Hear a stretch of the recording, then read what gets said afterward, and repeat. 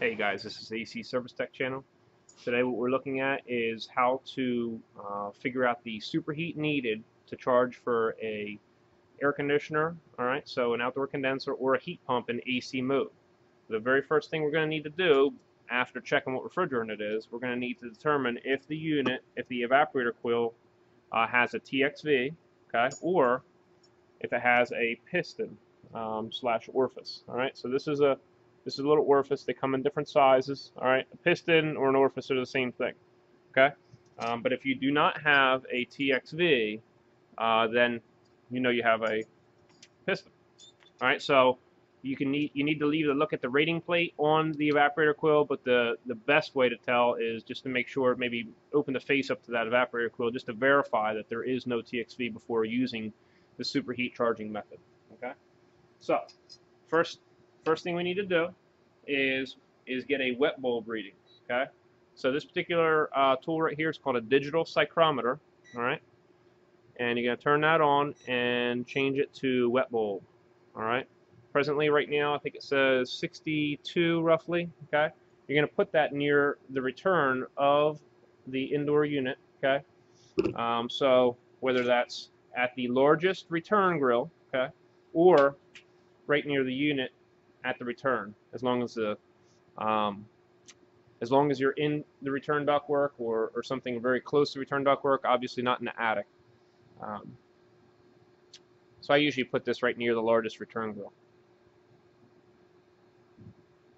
And I like to have a place to set it uh, because your wet bulb is going to change as you charge the unit. Okay, that has to do with the humidity in the house, and as you lower the humidity due to the air conditioning system running, even if it's only 5, 10, 15 minutes, your wet bulb's going to lower. So we're just looking for our initial superheat reading, and then you're going to have to check it continually as you charge the unit.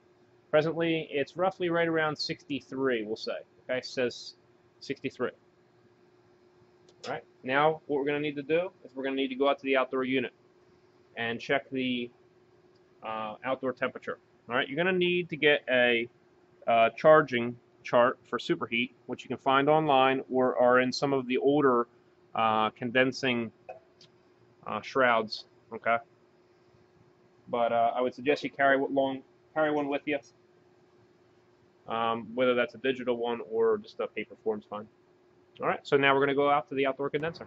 All right, so now we're at the outdoor unit. All right, so we got our temp probe here, and we're going to check what temperature it is. Now, hot air is going to end up be end up blowing out of the top of this unit. So the hot air is going to be blowing this way. So we want to take our temperature reading down low. All right? Uh, down low and out of the sun. Okay? So we're at about, say, 67. Yeah, but we'll say about 67. All right? So you're going to take your temp probe, and you're not going to go too close to the fins. You know, stay away from the fins. All right? And just realize that the air is always sucking inward. Okay? And then blowing up out of the top of the unit. So you want to get a true reading in the shape. All right, so 67. So now what we're going to do is we're going to go ahead and look at our uh, superheat charging chart. All right, so we go over to this superheat charging table.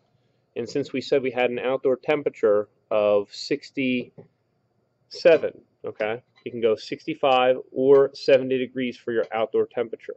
All right, this superheat uh, charging table is found on the inside cover of the outdoor condenser. All right, you can find these uh, superheat charging tables for wet bulb and outside temperature to find your needed superheat that you need to charge these to. You can find them online and sometimes in the old um, covers, all right, of the outdoor condensers. Um, I'm sure you can also get apps for them as well, um, but you know a paper version would be fine. All right, so uh, 65 degrees and 70 degrees. Let's just take 65 across, okay? And we said we had um, 63 for the wet bulb. All right, so we're going to get take 65 across, okay? And we're going to take 62 up. All right, 62 degree wet bulb. So we have 21 degrees of superheat is what we need to charge the system to. All right. So now let's take a look at 70 degrees for the outdoor temp. We bring that across and we line that up with 64. Okay, and we get 21 again. If these numbers were off, we would go ahead and take the average of this number and this number, and that's what we would charge it to.